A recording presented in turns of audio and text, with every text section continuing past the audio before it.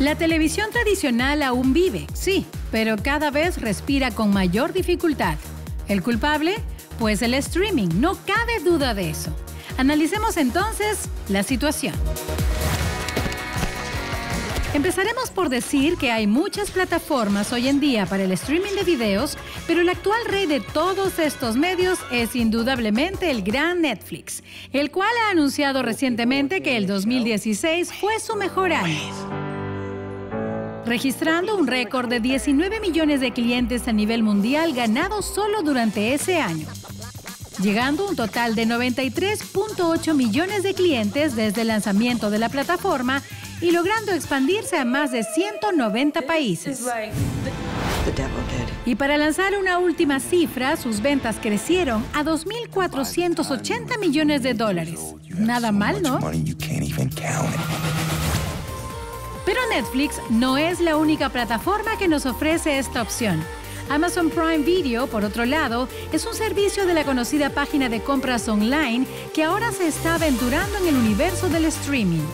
Incluso ya está disponible para nosotros en Perú y pese a que aún tiene una oferta limitada, se perfila como una interesante competencia para Netflix.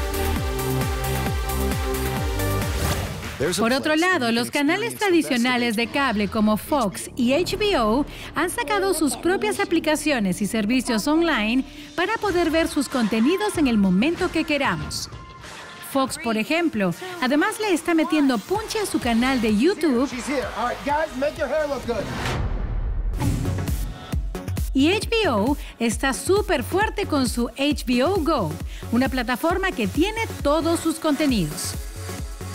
Ah, pero ojo, solo los usuarios que paguen el paquete de cable mensual pueden tener acceso a estos servicios. Esa es la trampa.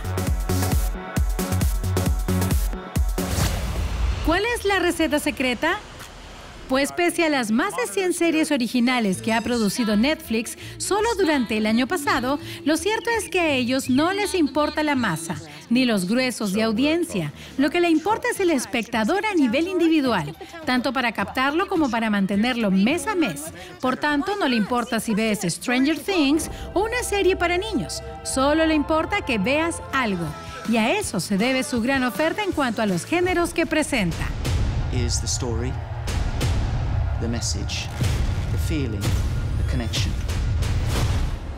Eso es solo por poner el ejemplo de Netflix, pero estamos seguros que su competencia no tardará en crecer.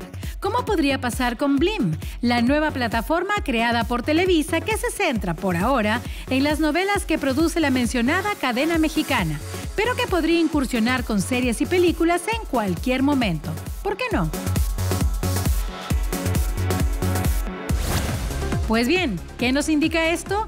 Que el futuro, o mejor dicho, el presente de los contenidos audiovisuales se centra en este tipo de consumo, por medio del cual podamos elegir lo que queremos ver a la hora que queramos, es decir, un consumo más libre y a la vez especializado.